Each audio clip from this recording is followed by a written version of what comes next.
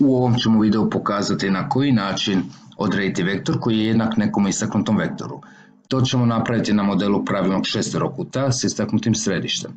Na taj način dobijemo šest karakterističnih jednakostraničnih trokuta. Zašto baš radimo na tom modelu? Na tom modelu radimo zbog toga što znamo da ćemo na taj način dobiti neke dužine koje su paralelne i jednake duljine. To nam je bitno zbog definicije jednakih vektora. Naime, vektori su jednaki ako su jednake duljine, ako su istog smjera i iste orijentacije. To da su vektori istog smjera, to znači da su oni paralelni ili da se nalaze na istom pravcu. Pogledamo dakle koje imamo dužine koje su paralelne i jednake duljine sa dužinom AB. Dakle, to bi nam bile dužine FS, SC i dužina ED. Međutim, ja sam sada ovdje pričao o dužinama, a nama su zapravo ovdje sada bitni vektori, što znači da moramo još i orijentaciju pogledati kako bi nam trebale biti.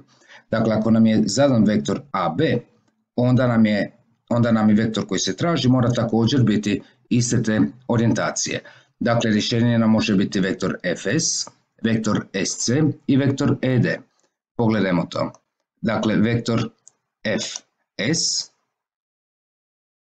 provjeri. Dakle, dobro smo odredili. Zatim smo rekli da može biti vektor SC, također je dobro, i vektor ED. Evo ga. Recimo da smo, da smo se zabunili da smo stavili vektor CS.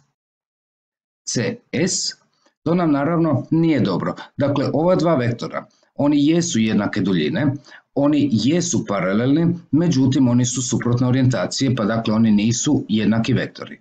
Pogledajmo to na još ovom tu zadatku. Dakle, zadan je vektor FB i pitanje je koji bi bio vektor određen svim ovim tu točkama, a koji bi bio jednak vektoru FB. Dakle, ovdje imamo samo jedno moguće rješenje, a to nam je rješenje EC. Evo ga, dakle, vektori EB, pardon, FB i EC su jednake duljine, paralelni su i jednake su orijentacije. I evo još jedan primjer, vektor FA, dakle ovdje tu također imamo tri moguće rješenja, to su vektori ES, SB i DC.